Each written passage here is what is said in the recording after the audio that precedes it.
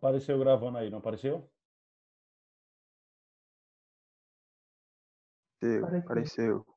Ah, beleza. Então vamos lá. Então, é, nós temos que a placa positiva ela tem sempre maior potencial, placa negativa tem sempre menor potencial. Então, quem é a tensão elétrica? Quem é a DDP? Quem é a voltagem entre as placas? Foi mal, galera. Então, a, a tensão elétrica, a diferença de potencial entre as placas? É o potencial da placa A menos o potencial da placa B. Ou seja, a placa A é a placa positiva, a placa B é a placa negativa.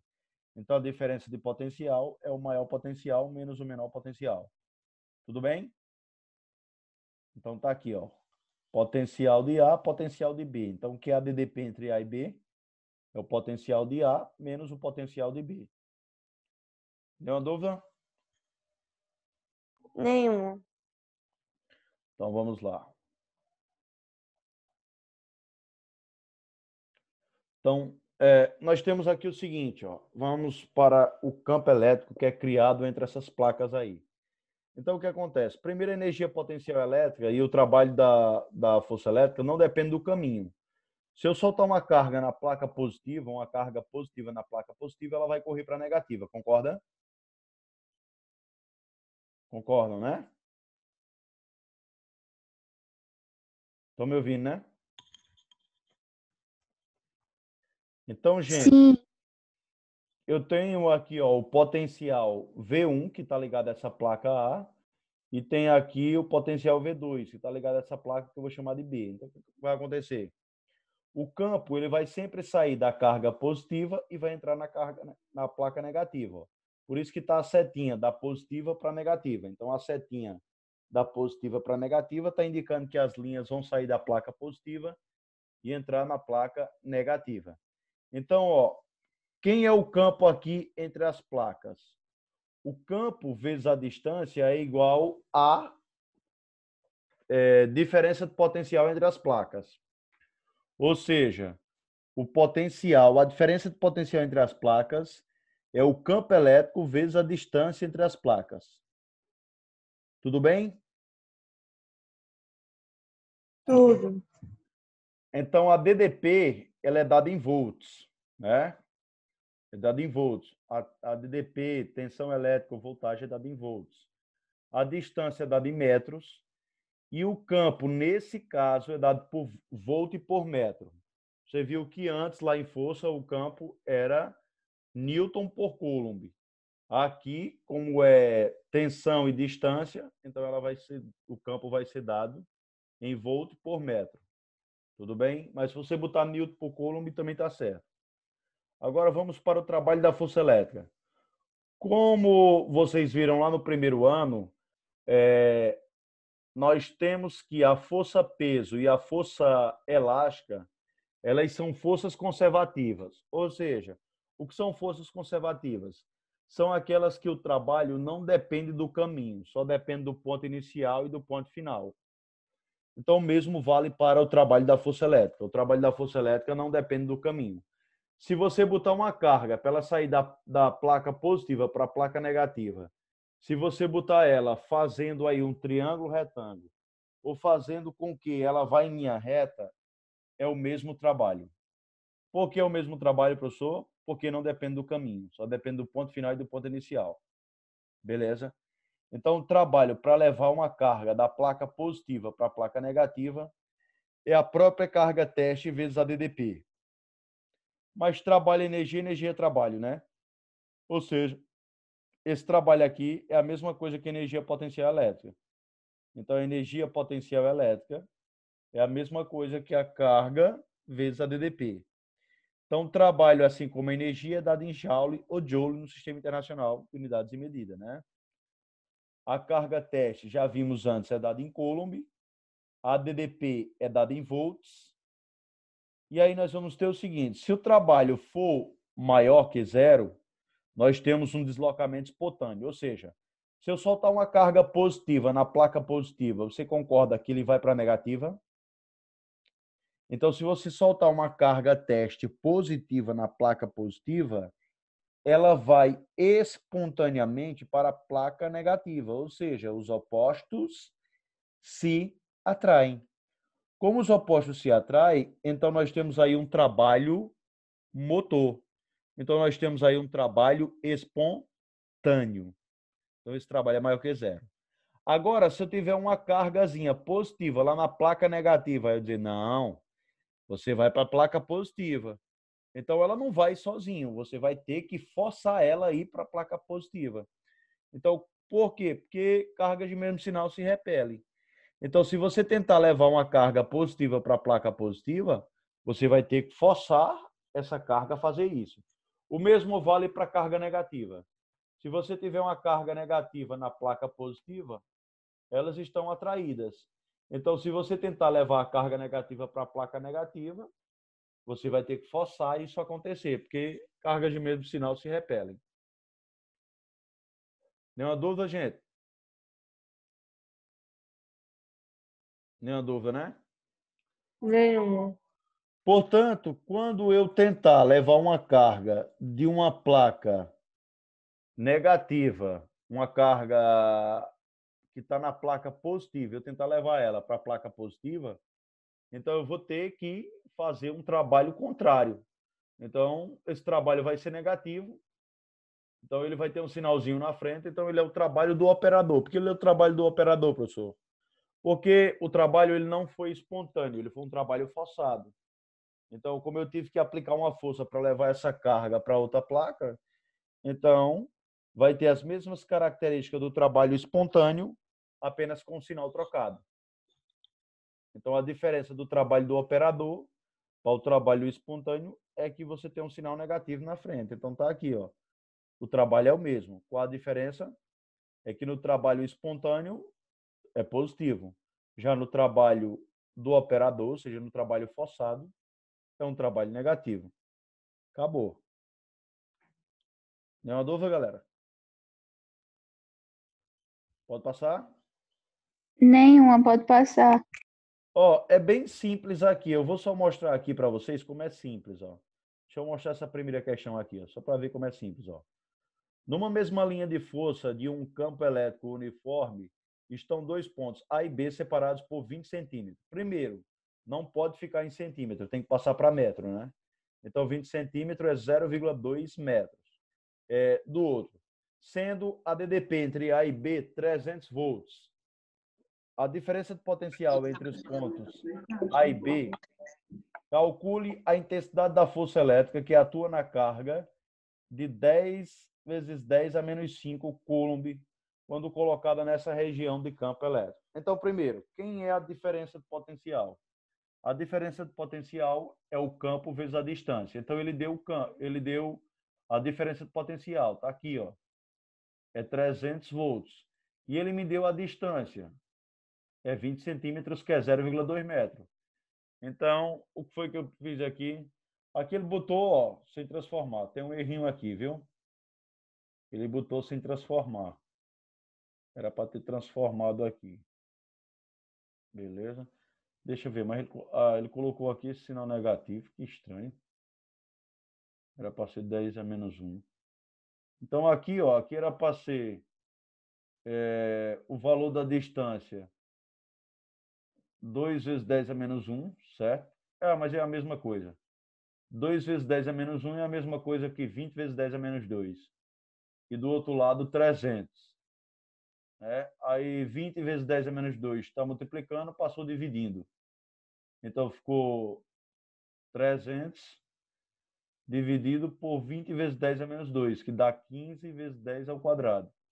Então o campo é 15 vezes 10 Newton por Coulomb. Aí quem é o campo?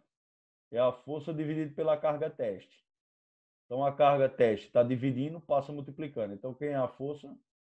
É a carga teste vezes o campo. Então a carga teste 10 vezes 10 a menos 5 e o campo acabei de observar aqui, ó, 15 vezes 10 ao quadrado. Então, potência de mesma base, conserva a base e somos expoentes, né? Então, nós teremos aqui 1 menos 5 dá menos 4, menos 4 mais 2 dá menos 2, 10 a menos 2 vezes 15 dá 0,15. Então veja que é bem simples o cálculo, né? As fórmulas são pequenininhas, não tem aquela fórmula grande igual vocês estudaram lá no primeiro ano. Bem mais simples aqui. Pode passar, né, galera? Todo mundo tá tranquilo até aí? Deixa eu só olhar. Sim. Deixa eu só pegar o livro de vocês para a gente resolver questões do livro de vocês. Deixa eu só dar uma olhada aqui se ele entrou em capacitores.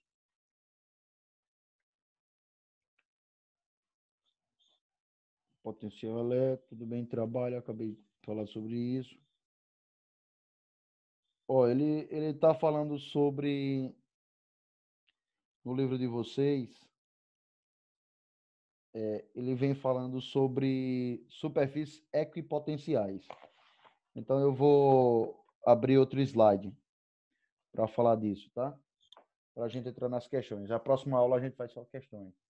Deixa eu gerar um novo slide aqui. Superfícies equipotenciais. A 222.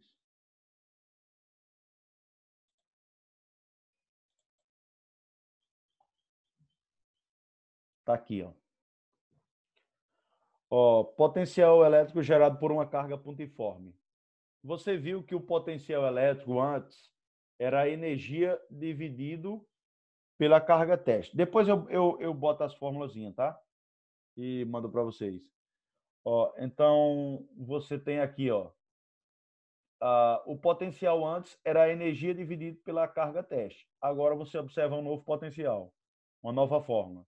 Então, o que foi que você observou? Que o campo elétrico normal é a força dividida pela carga teste. E quem é o campo de uma carga pontiforme? É a constante vezes a carga geradora dividido pela distância ao quadrado. A mesma coisa vale para cá. Ó. Quem é o potencial elétrico? É a energia dividida pela carga teste. Quem é o potencial de uma carga pontiforme? É a constante vezes a carga geradora dividido pela distância.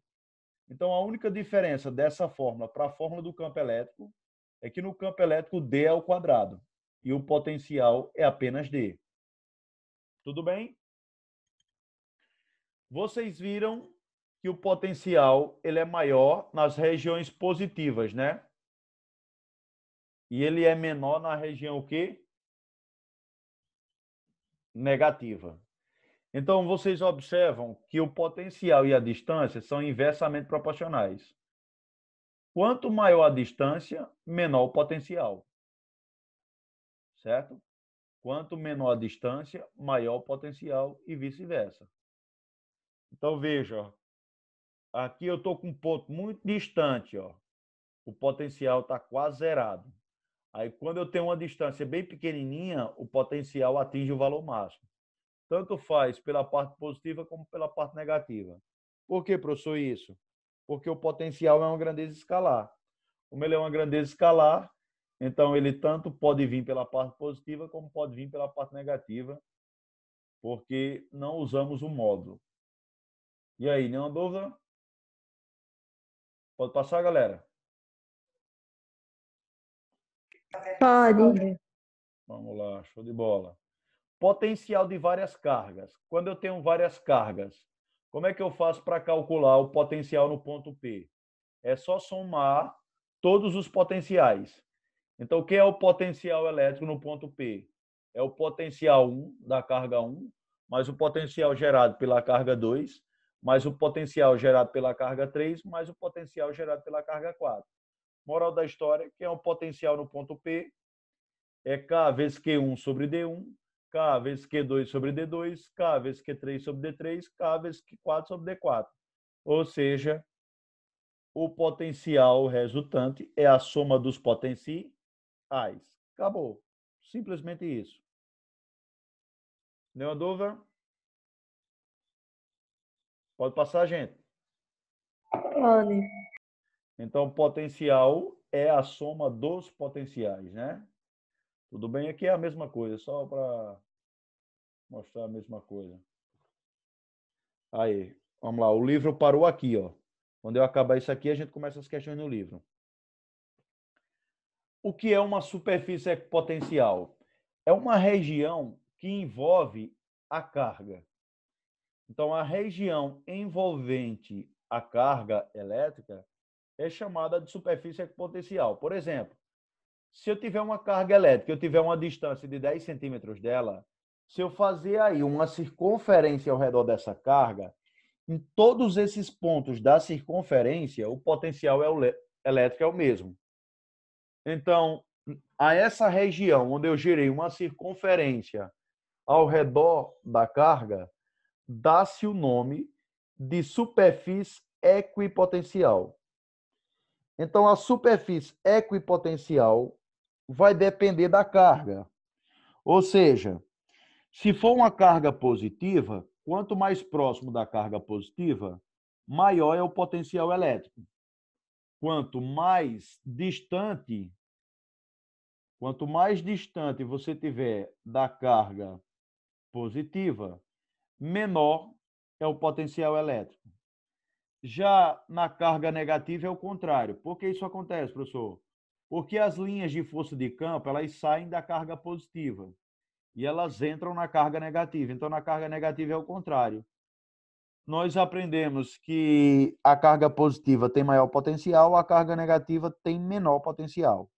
Portanto, quanto mais próximo você tiver de uma região negativa, menor é o potencial elétrico, menor é a energia potencial elétrica. Então, quanto mais próximo você tiver de uma região negativa, menor é o potencial elétrico, menor é a energia potencial elétrica.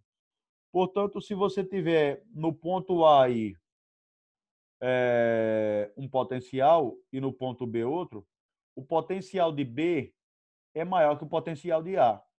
Por que, professor, o potencial de B é maior que o potencial de A? Porque o A está mais próximo da carga negativa. E quanto mais próximo de uma carga negativa, menor é o potencial elétrico. Quanto mais distante, maior o potencial. Se vocês olharem na carga positiva, é o contrário. Como na carga positiva ela possui maior potencial elétrico, quanto mais próximo dela, maior o potencial. Quanto mais distante dela, menor é o potencial. Então, no ponto A e o ponto B, a circunferência de B está é, tá mais distante que a de A. Portanto, o potencial em A é maior que o potencial em B, porque o A está mais próximo da região positiva. Então, se o A está mais próximo da região positiva, significa que o potencial de A é maior que o potencial de B. Nenhuma dúvida?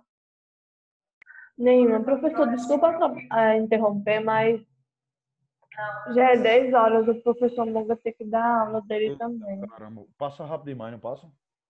Passa. Valeu, gente, valeu. Foi um prazer ficar com vocês. Espera só eu fazer a chamada aqui, só um minutinho, tá? Tá, professor. Só fazer a chamada rapidinho aqui.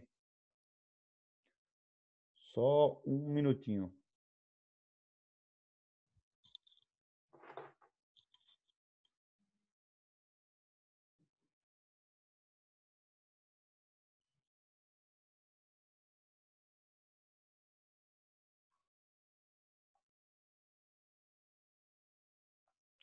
Eita, já saiu gente, cara.